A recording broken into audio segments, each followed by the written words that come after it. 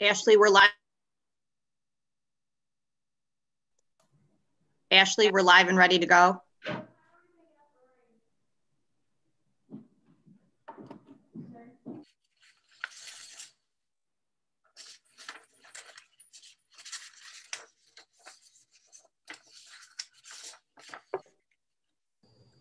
All right, Mayor Barnett, uh, you're ready to go. Are we here yet? That's Just a not, few That's more not, that's, that's Dennis Feeney, uh, Ken Massey, Dennis Feeney, Mike Barnett. City of Farmington, we didn't make the cut. I don't know what to do. If everybody's on, if you can put your uh, microphones on mute, the mayor's going to call the meeting to order. Thank you. Good evening, Farmington Hills. Welcome to the regular city council meeting of January 11th, 2021 at 7:30 PM.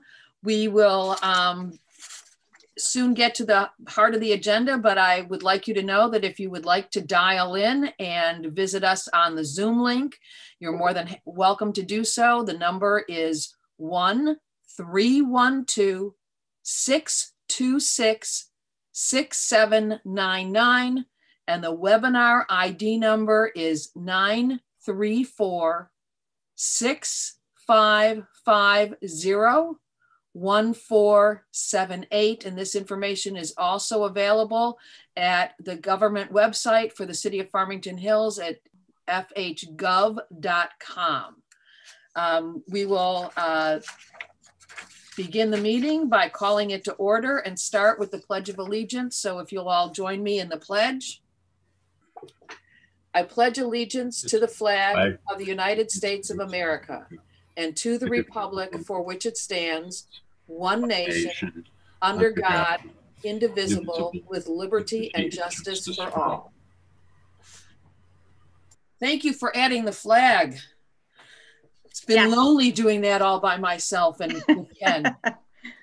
Um, now we will do the um, roll call. Please give your name and the city and uh, state in which you are dialing in from as a council member.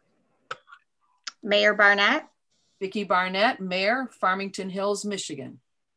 Council members Boleware, Jackie Boleware, Farmington Hills, Michigan. Bridges, Councilmember uh, Michael Bridges, Farmington Hills, Michigan. Knol, Valerie Knol, Farmington Hills, Michigan. Massey, Ken Massey, Farmington Hills, Michigan. and Newland. Muted, she's muted. Councilmember Newland, you're She's muted. You're muted. Is it plugged in?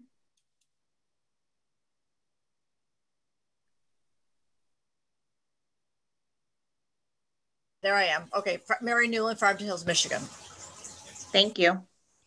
Okay, now we will move on to uh, the approval of the regular session meeting agenda.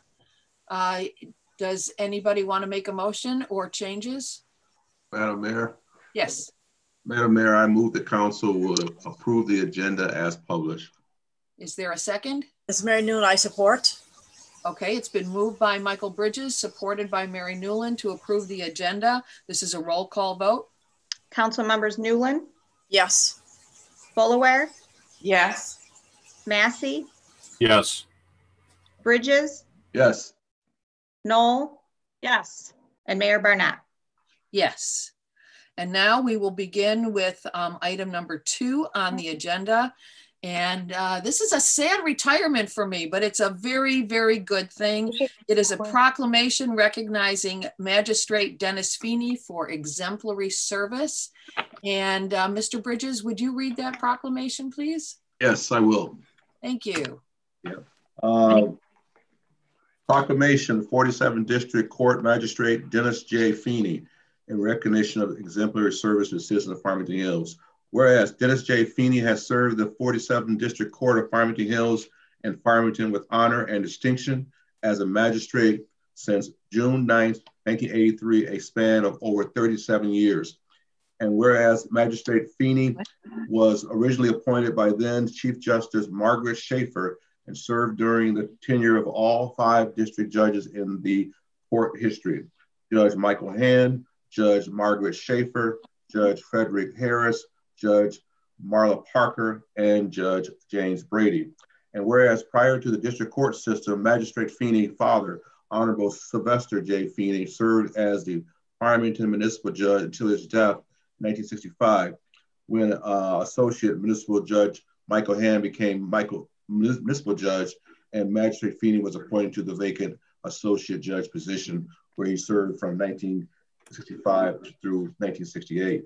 Whereas Magistrate Feeney Feeney has maintained a private law practice, first in the city of Detroit, beginning in 1964, and then in Farmington Hills since 1982. Whereas in 2019, the judges recognized his outstanding public service by dedicating the magistrate courtroom in the 47th District Courthouse in his honor.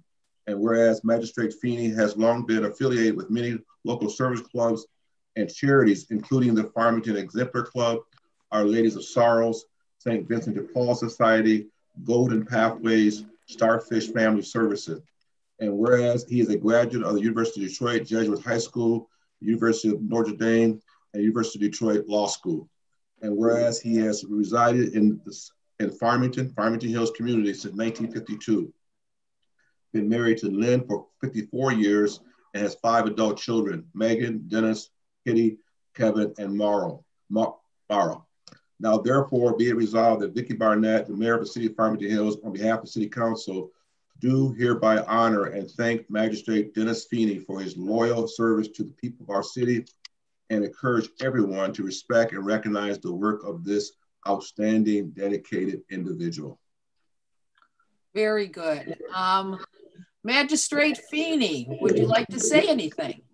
Yes, Mayor Barnett, thank you very much. Uh, I know many of you folks there.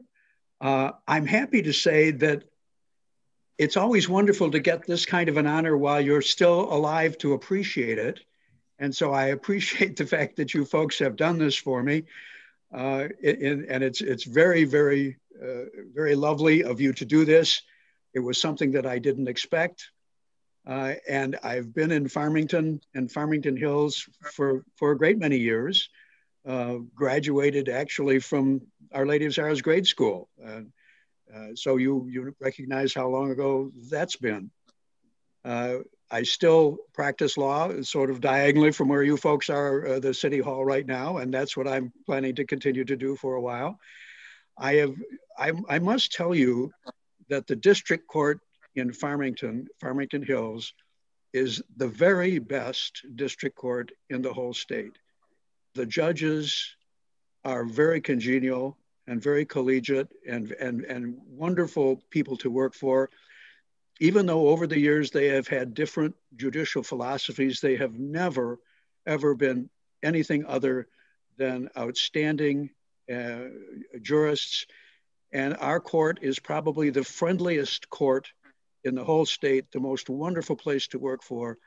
And we owe that to uh, not only to the judges, but to the administration of the court. And it's just been my great honor and pleasure uh, to work for this court.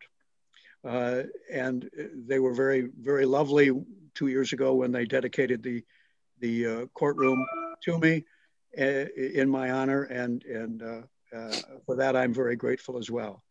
So it's been a Farmington Hills has been a wonderful place to raise our family. Our five children uh, were all born and raised here. And uh, I'm so fortunate that uh, my oldest daughter now lives in the community as well. My son Dennis lives in Howell. Maura is in uh, Ada, Michigan, which is which is close by. Uh, unfortunately, Kitty is in Baton Rouge, and we don't see her as much as we would we would love to and Kevin is in Illinois, and we don't see him as often, particularly now with the pandemic. Uh, but gratefully, uh, I see my brother and uh, my uh, dear brother Michael and uh, sister-in-law are on, on online as well, and I'm just very grateful to have lived in this community, which is probably the very best place that I can think of where we could have lived and raised our family. And to all of you, I'm extremely grateful and thankful for what you've done for me tonight. So thank you very much. It's our pleasure. I see uh, Mr. Walsh, the administrator of the court, is on uh, Zoom with us. Would you like to say anything? Yeah, I'm, I'm not only on Zoom, but both judges are watching on the webinar as well. You can't see them on the screen. I'm getting a little teary eyed here. Uh, I've now worked with Magistrate Feeney for 25 years, and uh, he's been an excellent jurist. And those of you that know him know that he's an even better person. Um, he's taught me a lot. Um, I was a young punk of 35 when I started here, and Dennis has taught me a lot over those 25 years that we've been together, and I will miss him dearly on a on a daily basis around the courthouse. So uh, I I know I speak for the judges when I say that we wish Dennis and Lynn nothing but good health and happiness for many many years of retirement, and uh, he he he's always going to be remembered because we've got a plaque that says that magistrate courtroom is in his name. And that was something that was very important to all of us. So congratulations, Dennis. Lynn, it's nice to see you there and all the family that's on the webinar as well. I'm sorry, Judge uh, Brady and Judge Parker can't uh, be seen right now, but they're both watching and I'm sure they'd love to uh, participate. But um, congratulations, Dennis, and thank you for the opportunity to talk, Mayor. Thank you. Uh, does anyone on council have anything to add? Madam Mayor? Ken, yes. Mr. Thank you, Madam Mayor. And Magistrate Feeney, Len, good to see you. Well deserved. Uh, we've known each other for a number of years and a whole lot of different capacities. And I just want to say that as you're retiring, and we've got a great proclamation, but really it doesn't sum up the great work that you've been doing and the work that the 47th District Court has done. You have worked with good people the entire time, but that said, you're a stellar guy. And thank you for all the things that you've done for this community and all the things that you will continue to do for the community. But with that, um, congratulations, well deserved. Thank you. Thank you. Okay, uh, Valerie Knol. Uh, yeah, it's um, it's been a pleasure to uh, get to know you and work with you over the years, Dennis and Lynn. And um, not only, I, I feel like I'll probably echo what's already been said, but I, I just want to uh, agree with that, that it's not just your work at the 47th District Court, but you have been so involved in the community and a variety of different nonprofits. And um, we always see you out and about um, so, and, and hopefully you continue to live in the community. I know you've got children all over and a lot of family, but uh, hopefully we keep you here. And uh, it's, um, thank you for your contributions and uh, for your family support as well, because it's not just you, but it's your family. It's everyone, um, everyone needs their family to uh, get through life and to be a contributing citizen. So thank you very much. Thank you. Anyone else? yeah, Merritt, Yes, Mayor. Mr. Bridges. Yes, um, Magistrate Feeney, again, I want to just echo the comments been made. Tremendous service to the community of 45 years or um, is a long time, and we appreciate your service to the community and dedication to uh, to the community. Your wonderful family here today is also in recognition of the fact that they. Um, I have a lot of respect for you and appreciation for you. So thank you for your service, and we look forward to seeing you around in the community. Thank you. Thank you so much. What else? I would like to take a point of privilege. Um, this is very bittersweet for me as well. You know, um, mentors come in all sizes, shapes, and colors. And uh, Dennis, your your attitude toward inclusion and fairness and justice and community spirit have taught me a lot over the years that I've served on city council and that is treating everybody equally without um, and, and recognizing that everybody who comes before you should have a fair shot. And I've tried to do that as mayor and as a state representative. And a lot of that I learned from you just the dignity of the human spirit and your support for Starfish and all of the other wonderful organizations that you have helped out are just um, blessed to have had you as a part of um, them. And I know that we will truly miss you as a magistrate, but certainly not as a wonderful citizen of this community. And I, I wish you and your family and Lynn all the best and stay safe out there. Wear a mask, and uh, we will all look forward to getting together and toasting your retirement in person, um, hopefully, when we can all start to get together soon. So, thank you for everything. Thank you very much for all of you. It's it's uh, it's it's very lovely uh, to be a member of the community like this and to uh, and to have such good friends uh, all over the community. And it's a wonderful community to live in and a wonderful community to support and work for. And so once again, I thank you very much for this honor. It was unexpected, but deeply appreciated. Thank you so much. It's our pleasure. It was the least we could do. So thank you. Uh, we will be mailing that proclamation out to you. And um, as always, if you need anything from the city, we're here for you. Thank Anyone you. else?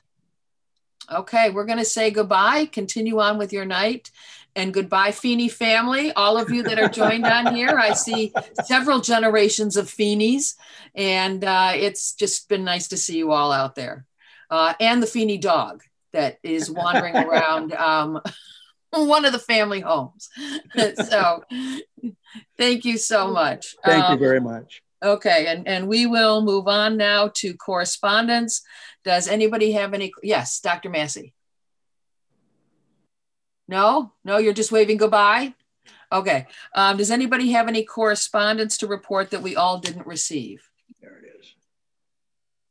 Anybody? Okay. Um, and I I think we've all been copied on the same correspondence in the last few weeks. Um, we will now move to the consent agenda and Mayor Pro Tem Boleware will read the items on the consent agenda. All items listed under the consent agenda are considered routine by City Council and will be enacted in one motion. There will be no separate discussion of these items unless a council member or citizen so requests, in which event that item will be removed from the consent, consent agenda and added for further consideration on the regular agenda. Okay, uh, Mayor Pro Tem Boleware, would you please read the consent agenda? Sure. Uh, the consent agenda for tonight is as follows. I recommended approval of the collective bargaining agreement with the Command Officers Association of Michigan, CMR 1204. Uh, the next one is recommended approval of award of a community center renovation bid pack number six, construction site final cleaning of Pro Image Facility Services in the amount of $71,797.50. And that's CMR 1 21 05. Number 10, recommended approval of renewal of contract for soft drink pouring for special services to PepsiCo for a one year term and that's CMR 12106. The next one, I recommended approval of extension of bid award for as needed audio visual goods and services with ABI, SBL, LLC for three years with extensions. And that's CMR 1 21 07. Number 12, the next one, recommended approval of purchase of subscription for access, backup, and recovery as a service with Access Interactive in the total amount of $85,640, including initial setup costs with possible extensions. And that's CMR 120 21 08. The next one, a recommended approval of extension of agreement for the 2021 spring summer citywide planting program with Crimboli Nursery Incorporated. And that's CMR 1 21 09.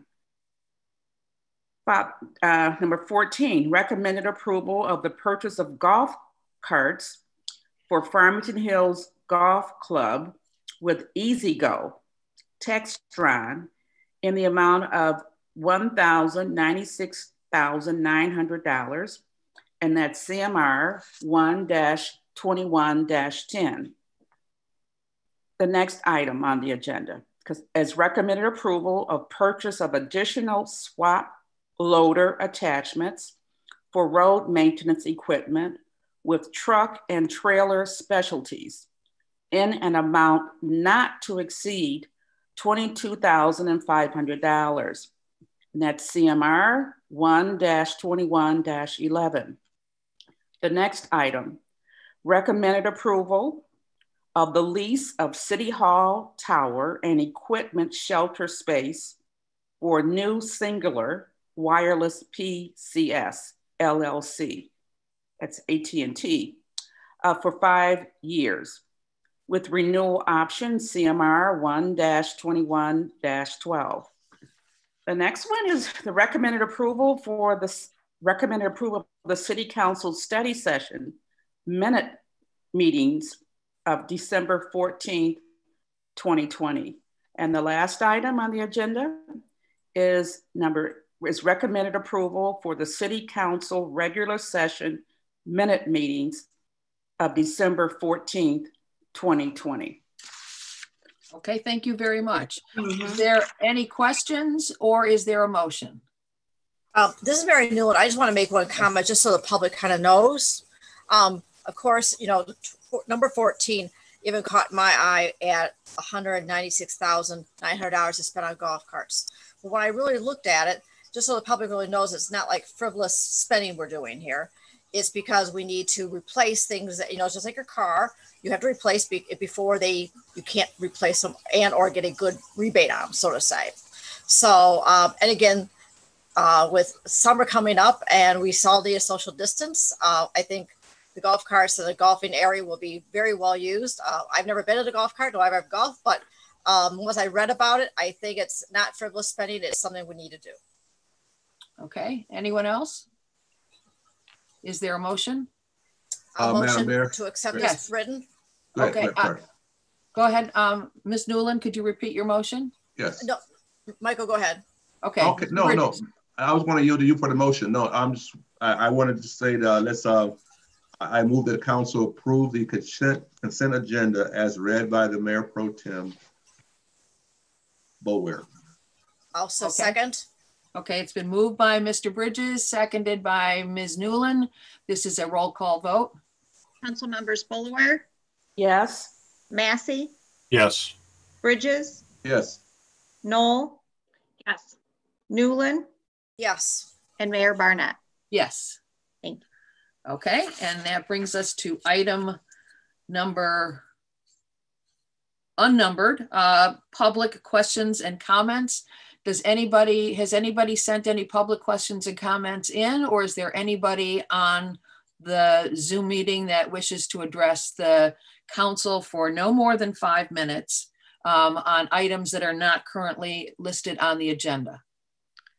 Uh, we do have Marcia Gershenson, who Ashley will um, now allow to speak to make some comments. Okay, great. Um, it's County Commissioner Gershenson. Uh, good evening, everyone. Um, Hello. I wish I could be. I wish I could be there in person. I I just wanted to wish everybody a happy New Year, and I certainly hope there will be some of the happy part of that in 2021.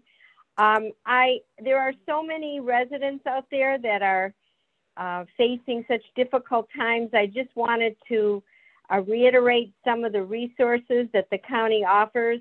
We have a help hotline for non-medical information, and you all this information, all these numbers are on our website, oakgov.com.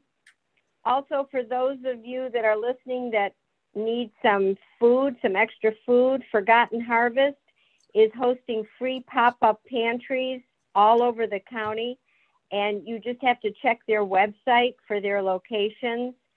Uh, for those of you that need COVID tests or are waiting for your vaccine, you need to call our nurse on call number, which is 1 800 848 5533, so that you can uh, either schedule a COVID appointment, COVID test, or sign up for your vaccine.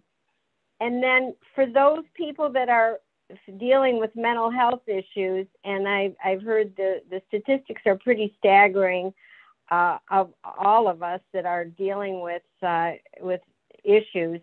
Uh, the mental, the Michigan Department of Health and Human Services has a warm line, which connects residents with certified peer support specialists who have lived the experiences of behavioral health issues, trauma, or personal crisis and are trained to support and empower. They're open seven days a week, and their number is 888 733 7753. Any residents out there, if, if there's resources that you need, uh, the county is offering so many different types. I hope that you'll reach out to me through the mayor or through um, through the the offices of Farm, City of Farmington Hills or your clerk Pam Smith, uh, so that I can fill you in on what's available. Thank you, everybody. Stay safe. Thank you very much. You stay safe too. And thank you for all the hard work the county is doing um, to keep us safe and protected. We really appreciate it. Um, You're welcome. Thank you. Thank you. Is there anybody else who wishes to address us during public questions and comments? I don't see any other hands raised um, from the attendees at this time. Okay, so we will move on then to council members' comments and announcements. Does anybody have anything to say? Uh, Mayor? Yes, Mr. Bridges. Yes, I, you know, on Monday, uh, we celebrate, I, I'm not Monday, January 18th is Martin Luther King Day in Farmington Hills. So the public library is having a number of programs, all virtual. And I would urge everyone in the public and council members to uh, attend. But yes, it's on Monday, January 18th, Martin Luther King Day for Farmington Hills. Uh, I'm sure that uh, manager Mekjian is going to speak about it as well, but I wanted to make that comment. Thank you. Okay. Any other council member questions or comments? Yes. Uh, Mayor Pro Tem Boleware. Yes. I just want to add to what Michael said about the Martin Luther King Day celebration that's being uh, offered the library. There is, for those who uh, want to have some more social interaction, there will be a vehicle procession uh, instead of the normal parade, and the, that will be beginning at, I believe, the Costick Center at 11 o'clock, and it will proceed down to Nard Park Church. Okay. Those who are interested. Okay. Yes. Dr. Massey? Mm-hmm. Yes, thank you, Madam Mayor. And um, I just wanted to mention another community event, which is the ability to go donate blood and give back to the community. And that way, um, the Costick Center is hosting our blood drive. We always see it in January, and it'll be Wednesday, January the 13th and I realize I'm suddenly looking over here because that's where the calendar is. So it's just my explanation. um, but it's January 13th, starts at 8 o'clock in the morning. Visit to the Red Cross website to make an appointment. And it's a great way to ensure that we can help our fellow residents. Okay. Anyone else? Um, I would like to add that um, if you are 65 years of age or older, you are in category 1B and you are, um, it's available for you to sign up for a COVID vaccine by making an appointment through Oakland County Department of um, Community Health. Or if you are a, if you have a primary care physician who is a Beaumont doctor, um, you can go to the My Beaumont website um, for your doc where you enter your document information or find your document information and you can sign up through the Beaumont system to make an appointment. Um, the numbers of vaccines through Beaumont are very limited, however, and they will be um, doing a blind draw to allocate those appointment times out. So um, that's the new update on that. And uh, we want you again to remember to social distance, stay masked when you're out and about, and um, be very careful. There is a large uptick in cases right now, and we don't want to lose any more Farmington Hills residents. So please be stay safe and careful. Um, and now we'll move on to uh, the city manager update. That's you, Mr. Mencken. Me Mekjian. That's right. That's right. So um, thank you, uh, Mayor and Council, and Happy New Year to everybody. Hope you all had a good holiday season. Um, uh, Jackie and Michael, you sold my thunder, and Ken, you did too. So um, just uh, just to add on to the MLK Day event, um, for those that are interested, please visit the Farmington Community Library website for um, additional information and scheduling of of uh, the virtual events as well. There's there are several that are planned for that day. Uh, the only other thing that I have to share is um, City Council, or City Council, City uh, Hall continues to be closed to the public. Staff is reporting to work. We are there. Uh, uh, taxes are due in February. Um, I encourage every everybody that has to do that, everybody that's listening that needs to do business paying taxes, especially. Um, um, we have a variety of ways to pay your bill virtually, um, whether that's online. Um, there's you can pay by credit card. You can pay with a pay with a automated clearinghouse transaction. Um, you can write a check and, and drop it in the mail. Uh, and you can also drop it in uh, our drop boxes over by the clerk's office and, and in front of the police department. Um, for extenuating circumstances, um, please call the city. Uh, if we have to make an appointment uh, to, to, uh, to do business with the city, and we will do our very best to accommodate you. And we wanted to thank everybody for their patience. Hopefully, as the vaccine continues to roll out, we can get to some sort of normalcy again and open the doors up and protect everybody's health at the same time. So thank you. Okay. Um, next is a public hearing, a public hearing and consideration of the service agreement with CARES of Farmington Hills and the public disclosure of the volunteer relationship between Council Member Massey and CARES of Farmington Hills, CMR 1-21-01. Um, and I guess we turn this over to Charmaine. Yes. Oh, okay, good. You're there. Yes. Are you ready? Yes. Okay. Good evening, Madam Mayor and council members. I am Charmaine Kettler Schmult of the Community Development Office. I'm here before you this evening to give you information and answer any questions necessary for the public hearing consideration of the service agreement with CARES of Farmington Hills and public disclosure of the volunteer relationship between Councilmember Massey and CARES of Farmington Hills. As a bit of background, for those who aren't familiar, uh, the City Council recognized the need for additional food bank and food services to eligible residents of Farmington Hills in April of 2020.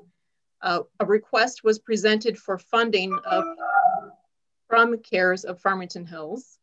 At that meeting, Councilmember Massey disclosed his connection to the food bank and did not participate in those discussions or vote for approval of the regular CDBG funds. In June, additional funding was available uh, and approved by City Council for food bank and food distribution for eligible residents with our first round of CDBG COVID funding.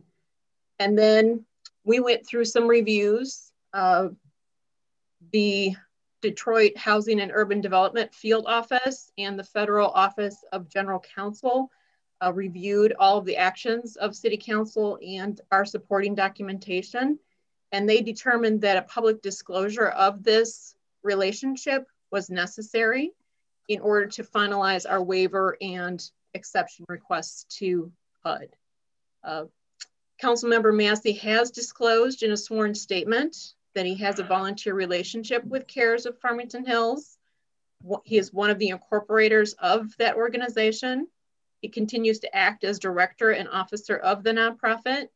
He nor anyone in his family has any interest in any company that does business with CARES of Farmington Hills, nor does he or anyone in his family receive any compensation from CARES of Farmington Hills. Per the federal regulations regarding that conflict of interest, CFR 570.611B. Uh, the relationship is required to be disclosed. Uh, this general rule is that no persons described in paragraph C of this section who exercise or have exercised any function or responsibilities with respect to CDBG activities assisted under this part or who are in a position to participate in decision-making process or gain inside information with regard to such activities may obtain a financial interest or benefit from a CDBG assisted activity or have any financial interest in a contract, subcontract, or agreement with respect to a CDBG assisted activity or with respect to proceeds of the CDBG activity, either for themselves or those whom they have business or immediate family ties during their tenure or for one year thereafter. In this case, Councilmember Massey is in a position to participate in decision-making process with respect to CDBG activities and in a position to gain inside information with regard to CDBG activities, including which organizations receive CDBG funds. As Councilmember Massey is part of that organization to request and possibly receive CDBG funds. Councilmember Massey did not participate in those decisions and has since recused himself from discussion and abstained from voting on the issue at the April 13th, 2020 council meeting. According to the federal regulations, any individual in this position cannot obtain a financial benefit from CDBG funds. Councilmember Massey nor his family receive any financial interest in the proceeds of any CDBG assisted activity. Therefore, the City Attorney of Farmington Hills has reviewed the circumstances for potential conflicts with state and local conflict of interest policies, and he has determined, in his opinion, that this matter would not violate state or local laws, and there should be no conflict in the federal regulations. I have attached uh, to your packet the public notice that was published regarding the meeting this evening, January 11th, before the City Council. And that was published in the Farmington Observer on December 27th, 2020. I'm available for questions either now or after the public hearing. Thank you. Okay. And Mr. Joppich, did you want to say anything at this moment? Yes, go ahead. Go ahead. Uh, yes, I just wanted to add that um, uh, that was part of that was read obviously as a requirement of the of HUD uh, for purposes of this meeting. So I, I know it uh, sounded a little odd, uh, possibly, but it was required to be read into the record, and it will be included in the minutes. Uh, it would also be reiterated by reference as part of the next agenda item as well. Um, so I just wanted to make that clear for council that that is what this is about. There's been a lot of communication with HUD regarding this and they are very particular about it. Okay. Um, just to make clear for the public before we open the public hearing that um, one of our uh, former mayors and current council member, Dr. Massey, is very involved with CARES, which is a nonprofit community organization. And because he is involved, we have to jump through a few extra public hoops in order to make sure that everybody is aware that he receives no financial benefit at all from his volunteer activities in serving the citizens of Farmington and Farmington Hills. And I want to thank Dr. Massey for stepping forward and for working with CARES and doing such a great job in delivering food and other supplies and necessary aid to uh, the residents of Farmington and Farmington Hills, especially during this very difficult COVID 19 period when there is so much food insecurity and other insecurity throughout our community. So I want to thank you for that, Dr. Massey. And um, we will open the public hearing now. Um, is there anybody who would like to say anything at this time? Uh, Mayor, I do not see any hands raised from the attendees. Okay, then I will now officially close the public hearing and bring it back to council. Um, and uh, I see that Mr. Bridges has his hand raised. Yes, I do. Just want again, I want to echo the comments made by the mayor regarding our council member uh, Massey's involvement with CARES and tremendous uh, work he's done there, and the fact that I, I attended one of those uh, food pantry programs, uh, handouts, uh, I think three, four months ago, and the need is great. And uh, Councilmember Massey, we, we, appreciate your efforts there and with work you've done there over the years, and we appreciate you done there. I have a motion in regards to this okay. matter. Okay. Uh, I was, is recommended, I, I resolve that the City Council approve the Community Development Block Grant uh, PY, was uh, Black Grant uh, PY 2020 CBG funding in the amount of $5,000 and the CBG CV funding in the amount of $52,600 for, for food, food distribution services income eligible Farmington Hills residents. Further resolved that the acting city manager be authorized to prepare and execute the service agreement with CARES of Farmington Hills, subject to authorization from HUD. Okay, is there a second? I support. Okay, it's been moved by Mr. Bridges, supported by uh, Council Member Pro Tem Jackie Boleware. Is there um, any further discussion?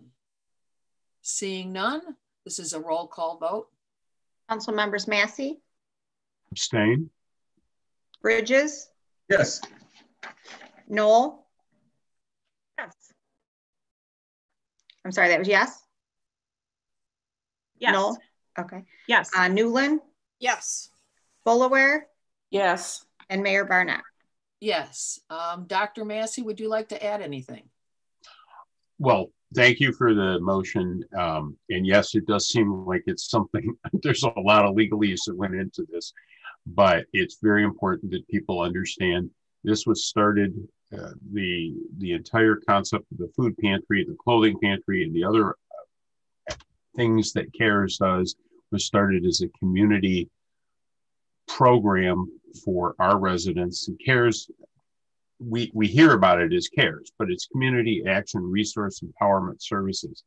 And if you look at the mission statement for this organization we um, have a lot of things that go on at cares that are supported by philanthropy and so forth a lot of donations but mayor you alluded to it a lot of those things we had to put on hold because the focus is being able to deliver food to our residents and really step this up during COVID because it has been a challenge. Mr. Bridges, you actually experienced that.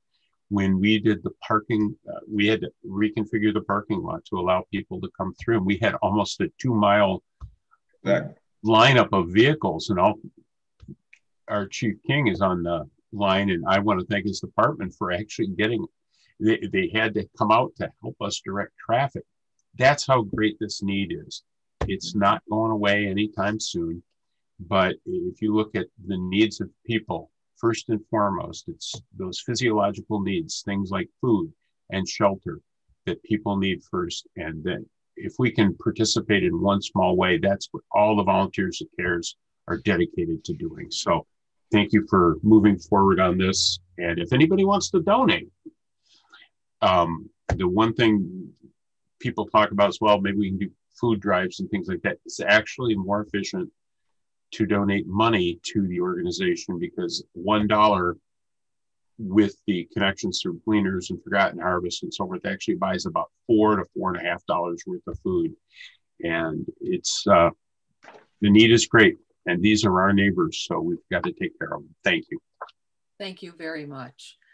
Um, next is a public hearing uh, for the consideration of Community Development Block Grant, CDBG program, year 2019 Annual Action Plan Amendment um, with additional COVID funding, CMR 1 21 02. Back to Charmaine. Thank you, Madam Mayor. Um, our lucky night. Uh, this public hearing is specifically for an amendment to our 2019 uh, annual action plan specifically to address our second round of CDBG CV funding, which is specifically for the preparation, uh, preventing, or responding to the COVID situation. Uh, the allocation was authorized from the federal government through the Housing and Urban Development Department. And we've been allocated in this second round $334,118. Uh, HUD had been allowed with this allocation to have certain waivers uh, and allowances. And one of those allowances is for virtual meetings, uh, which we're thankful for. All eligible CDBG activities have to meet one of three national objectives. Uh, they have to benefit low and moderate income families, uh, aid in the prevention of slum or blight, or meet a need having a particular urgency. The Community Development Office reached out to local nonprofit organizations in our area to inform them of the opportunity to apply for this most recent round of funding. And we received applications from three organizations expressing the need for food bank and food distribution, mortgage and rental, and utility assistance. Um, so we've put together a budget uh, for review by council, and then we will be submitting this to HUD for approval to add program administration in the amount of $36,000, food bank food distribution in the amount of $103,118, and mortgage rent and utility assistance in the amount of $119,000. Uh, I'm available to answer questions now or after the public hearing. The hearing was published in the Farmington Observer on December 27th, uh, 2020. Okay. okay. Mr. Joppich? Yes. Uh, this, I believe that there are funds that would be going to CARES under this as well. So the same, uh, as I mentioned previously, uh, and if I'm mistaken about that, by the way, please let me know. But that's my understanding that funds will be going to CARES again. So uh, the same exact public statement that Ms. Kettler Schmult read for the last public hearing will apply here and will need to be a, a part of the minutes.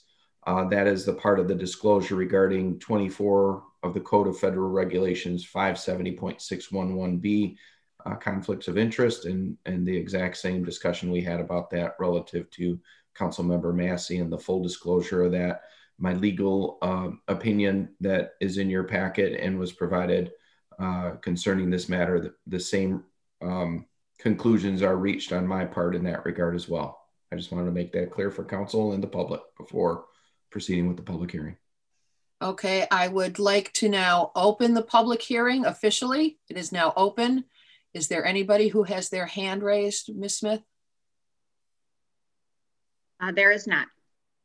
Okay, uh, we will now officially close the public hearing and bring it back to council. But I also want to say something first. I believe this is the first time we are able to add mortgage rental and utility assistance to um, this program. Am I correct in that? Yes, uh, this is the first time that we've had that as part of our services to the community. Uh, we were fortunate enough to find a couple of partners, three partners that are able and willing to work with us on, on that activity. Okay, so again, this is part of um, our mission as a community to make sure that no one goes hungry or homeless, and we do have um, assistance included in this COVID grant money for that. Um, is there a motion or discussion? There's a motion. I have one quick question. Yes.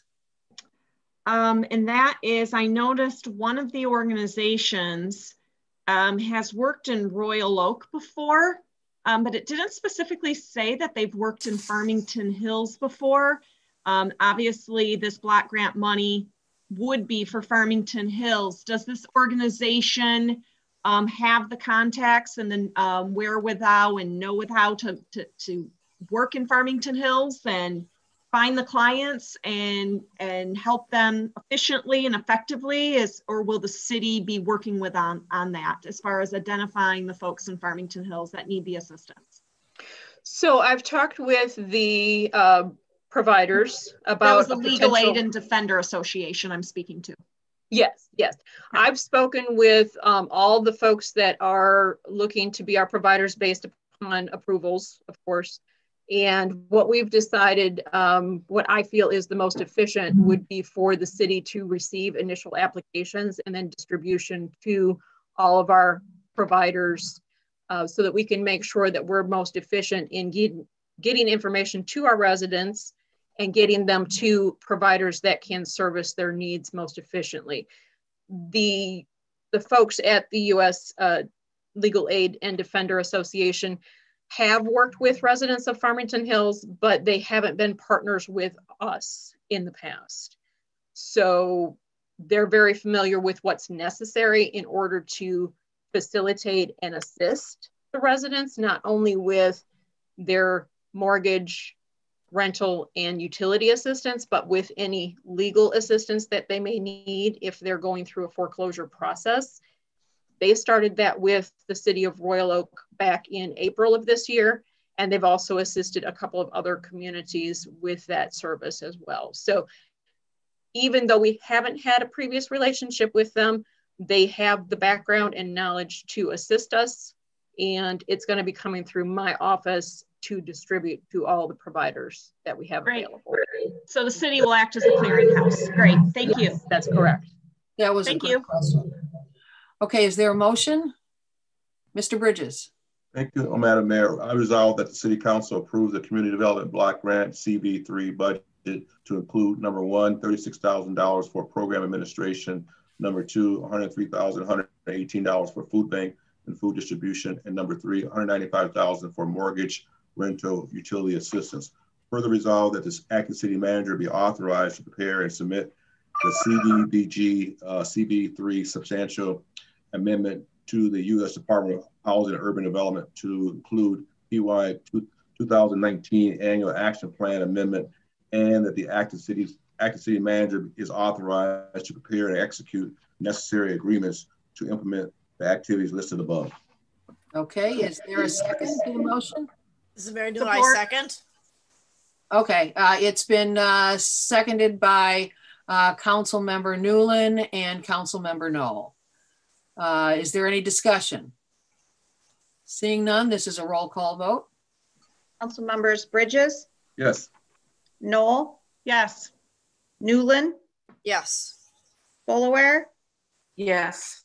Massey, Abstain? and Mayor Barnett. Yes. So, thank you all very much. Uh, Next is unfinished business. Uh, Number five, consideration approval of the enactment of ordinance C-1-2021, um, amending the city code, chapter 34 zoning to amend the official zoning map in order to rezone the property located at 33466 Eight Mile Road, OS2 Planned Office District to B3 General Business District, rezoning request 2-7-2020, and approval of summary for publication. Madam Mayor, members Yes. of council, Ed Gardiner, Director of Planning and Community Development. Uh, the item before you is a request to rezone a parcel of property located on Eight Mile Road west of Farmington Road from OS2 Planned Office District to B3 General Business District as you described. Last December 14th, council approved the introduction of this request. Tonight, council will be taking action on the enactment of this rezoning request. I'll be happy to answer any questions of council at this time. Does anyone have any questions? This is the property along Eight Mile Road. Right. Seeing no questions, is there a motion? Dr. Massey? Yes, Madam Mayor. Yes. I'm Assuming, yeah, there it is. Um, and uh, have to check that little microphone. I would move approval of the enactment of ordinance C one two thousand twenty-one, amending the city code, chapter thirty-four zoning to amend the official zoning map in order to rezone the property located at three three four six six Eight Mile Road, OS two planned office district to B three general business district rezoning request two seven 2020 and approval for summary publication. Is there a second? Second. Okay, it's been moved by Dr. Massey, supported by Mr. Bridges. Is there any discussion? Seeing none, this is a roll call vote. Council members Knol, yes, Newlin, Yes. Boleware, Yes. Massey, Yes. Bridges, Yes. and Mayor Barnett. Yes. Continuing on with unfinished business, number six, consideration of approval of enactment of ordinance C 2 2021, amending city code, chapter 34 zoning to amend the official zoning map in order to rezone property located at 33474 Eight Mile Road, OS2, Planned Office District to B3, General Business District. Rezoning request 3-7-2020 and approval of summary for publication. Is there any discussion or a motion or Mr. Gardiner, do you want to say anything? Madam Mayor, uh, members of council, uh, you've described this request and this parcel is adjacent to the parcel you just introduced and enacted uh, for the rezoning from OS2 to B3. Uh, last December 14th, council introduced the uh, rezoning of this request and tonight council would be taking action on the enactment of this rezoning request. I'll be happy to answer any other questions at this time. Okay, anybody have any questions? Seeing none, is there a motion? Dr. Massey. Thank you, Madam Mayor. I would move approval of the enactment of Ordinance C-2-21, amending City Code Chapter 34 zoning to amend the official zoning map in order to rezone the property located at 33474 8 Mile OS2 Planned Office District to B3 General Business District, rezoning request 3-7-2020, and approval of summary for publication. Okay, is there a second? This is Mary July second. Okay, it's been uh, moved by Dr. Massey, seconded by Council Member Newlin. This is a roll call vote. Council members Newlin, Yes. Boleware, Yes. Massey, Yes. Bridges, Yes. Knol, Yes. and Mayor Barnett. Yes. That brings us to new business, item number seven, consideration of approval of the 2021 agreement with Families Against Narcotics, FAN, Comeback Quick Response Team, QRT, CMR 1-21-03. Uh, Is this for um, Chief King to take on? It is, it is, ma'am. Okay, All right, uh, thank you, uh, Madam Mayor, uh, members of City Council. Um, I'm uh, pleased to be here to present this program uh, for the Farmington Hills Police Department to move forward uh, in our uh, our efforts to provide for our community and uh, combat uh, substance use disorders in our community. Um, this is a overdose wellness check program, a post overdose wellness check program that we have developed with FAN, which is Family Against Narcotics out of Macomb County. How we've re- uh, arrived here at this program, um, a little bit of data to, to and, and, and information that brought us to this. Um, more than 185 people die from drug overdoses every every day in the United States. It's about approximately eight every hour. In 2020, we, uh, the citizens of Farmington Hills, uh, lost seven of our residents due to uh, drug overdoses. Uh, in 18 and 19, um, we found ourselves responding to a lot of these um, uh, victims of uh, substance use disorders. Um, one particular case, we responded to the same individual at the same location over 12 times, um, some within six hours of them being released from the hospital. Um, this this man uh, suffered from this disorder, uh, disrupted his his life, his family's lives, eventually led to him losing his life to the disorder. In 2020, we responded to 27 uh, separate drug overdoses, administered Narcan 13 times, and that's in addition to what the farm uh, the Farmington Fire Department uh, uh, um, uh, di- uh, administered. And uh, as I said, we investigated those seven deaths. Um, in 2021 alone, uh, we've responded to already two overdose cases. One individual is the third time in two months that we've responded to her house. The number one question we face from uh, families is who will help us? What can we do? How can we uh, how can we combat this? So many communities are reaching out and developing programs. Um, we reached out with FAN and developed uh, a, a relationship with them. We have an existing relationship with them, which is our hand, uh, Hope Not Handcuffs program. And this is just a natural extension of that. Uh, the focus of this program is quite simple save lives, assist SUD victims and uh, their families in recovery, reduce the stigma associated with SUDs, re- reduce repeat uh, deployment of our emergency resources, and serve the community uh, and the citizens of our community. Um, we have, again, um, FAN's program uh, is a quick recovery team. That team will be made up of police officers facilitating the um, personnel from FAN, the staff from FAN, to help uh, provide substance abuse treatment services, recovery services, peer support services, and the, super, the services with outreach for visits and post overdose for the individual or the families. Um, when FAN developed their program, they developed their program with a study that focused focused on teaming with three different um, emergency responders or frontline workers. They looked at developing the program with firefighters, nurses, and police officers.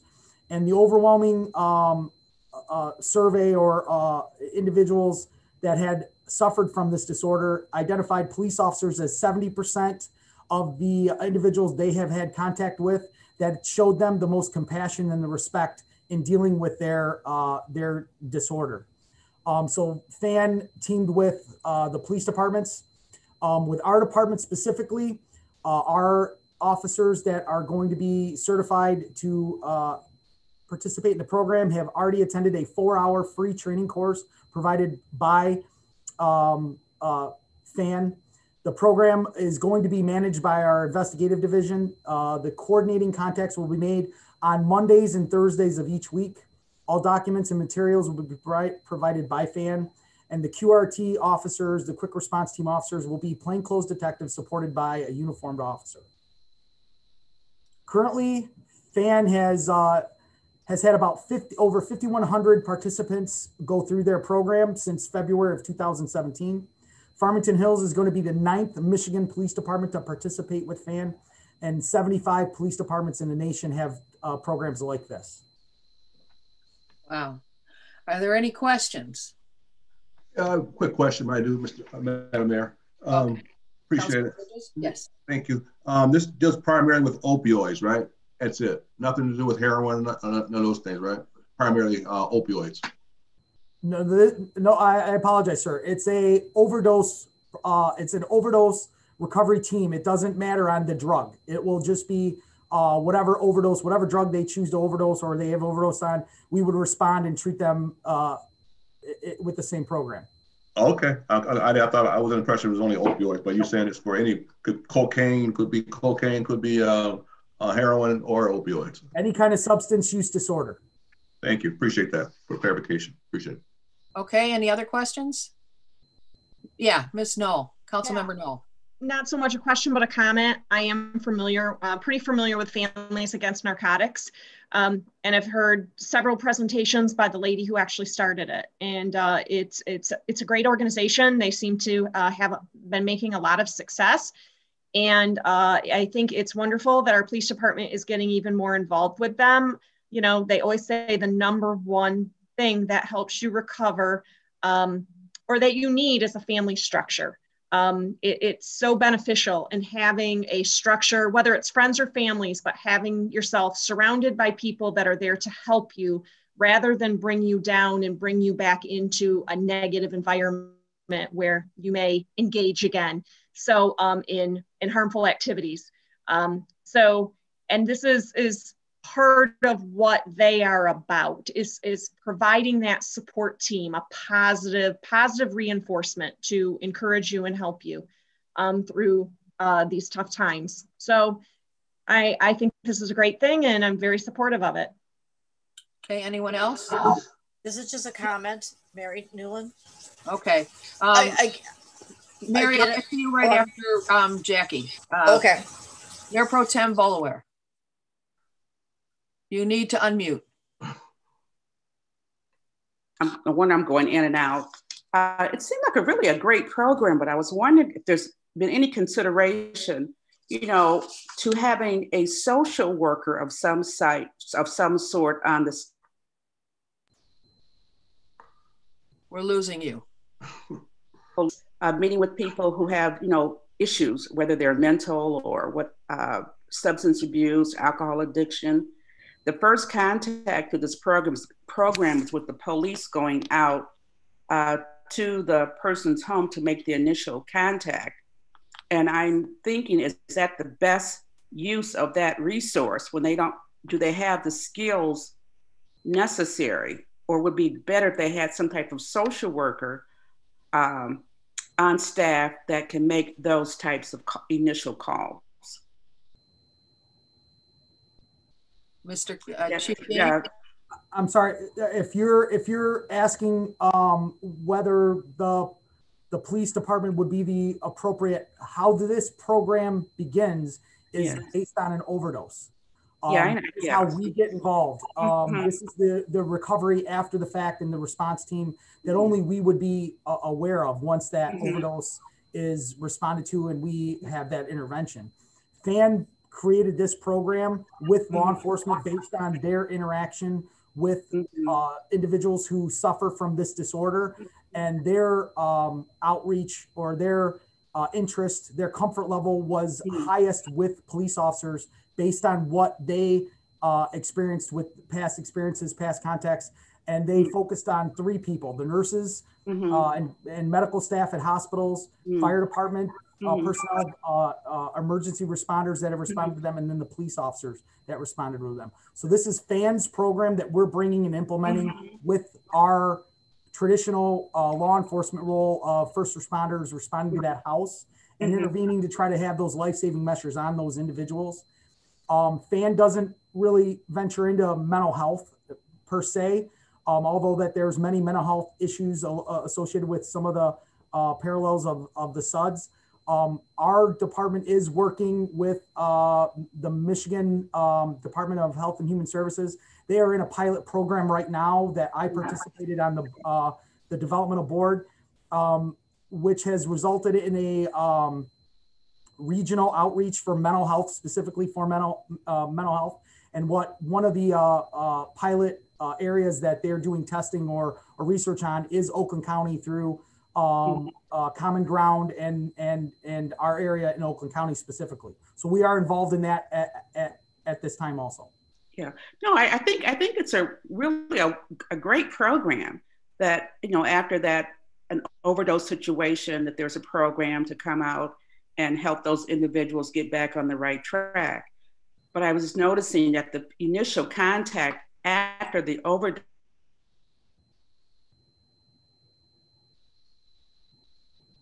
situation in um in the the uh, addiction field that it's it was always best for to have someone with uh, expertise in that area to make the first uh, contact, you know, with that person. But what you're saying is that according to the study done by um, the Families Against uh, Narcotics, they've discovered that the best person to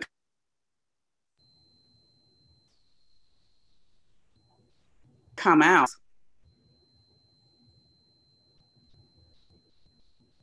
Am I frozen? I yeah, a little. I a little bit. Um, I I think I can clarify.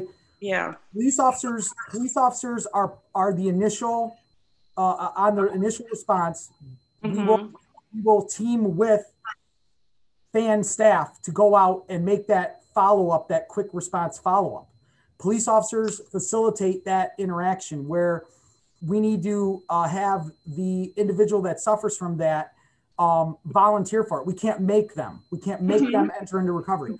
We facilitate the uh, coordination and the response, uh, introducing and having them communicate with the FAN personnel. What FAN uh, staff is going to be a peer recovery coach, uh, family recovery coach, and a program oversight and direction coordinator. Farmington Hills police officers aren't going to manage them in their recovery. We're just going to No. one. No, I yeah, I I understand that part. Over to them. Yeah, I understand that part. I was just thinking about the initial uh, point of interaction after the overdose.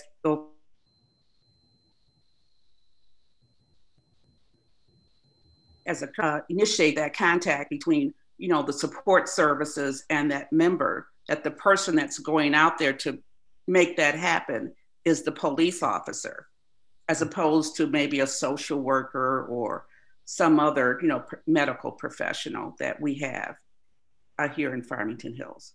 But I, I understand what you're saying. But Thank it's you. also my Mhm. understanding, Chief King, that the officers that participate in this program have gone through extra training for it. Yes, ma'am. Okay, so they're trained uh, above and beyond what they do as police officers Yeah. to utilize this particular program. And their their role is is specifically to facilitate the transfer from our interaction to the FAN support staff that then takes them the the the, the additional steps. Very good. Mhm. Okay, um, Councilmember Newlin? I was just going to comment that, you know, we need as many tools as we can, as many supports as we can. I mean, I know our department has already been already very uh, progressive in terms of Narcan training. We've had several times where we've had community, not only Farmington Hills community, but people coming from all communities surrounding us to participate for Narcan training. So again, it's just, this is another great, great program, another support to um, support our residents. Okay, um, Dr. Massey? I have a motion. Thank you. I would move that city council approve the city manager be, to be authorized to execute the 2021 participation with Families Against Narcotics or FAN Combat Quick Response Team or QRT and the city of Farmington Hills and any associated documents or agreements. Okay, Is there a second? Or Okay, it's been seconded by um, Councilmember Bridges. Um, Ms. Boleware, did we answer all your questions? you're mute. I know, but I can read her lips better than I can see her frozen. Yes. I'm No, doing much no. better now. no, no. Um, my question is answered. My, I guess my main question was the fact why was a police officer making the the intro? Initial contact. See, she was doing much better when she you know, wasn't that, that speaking. may be when a she was part of mute. the police. okay. Yes. Okay. Okay. No, Then he, he did answer my. I think it's, I think it's a great program. Yes, I do. Good. Okay. Well, um, this is a roll Mm. call vote. Council members Boleware, Yes. Massey, Yes. Bridges, Yes. Knol, Yes. Newlin, Yes. and Mayor Barnett. Yes. Um, now we move on to um, the attorney's report. Does anybody have any questions? Not at this time. Okay, hearing none. That brings us to ta-da, adjournment. Is there a motion to adjourn? So moved. It's Support. moved by Council Member Bridges, seconded by Support. Dr. Massey. Okay, this is a roll call vote. Council members Massey, Yes. Bridges, Yes. Knol, Yes. Newlin, Yes, and now you can see me. Yes, we Yeah, we can. can see it. Boleware, Yes. and Mayor Barnett.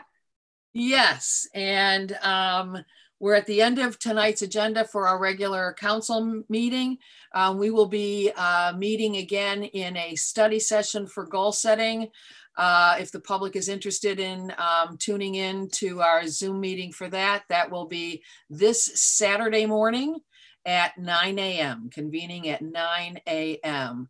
Uh, so we're done now and we will reconvene as a council uh, for study session on Saturday morning. Good night, Farmington Hills. Good night. Good night.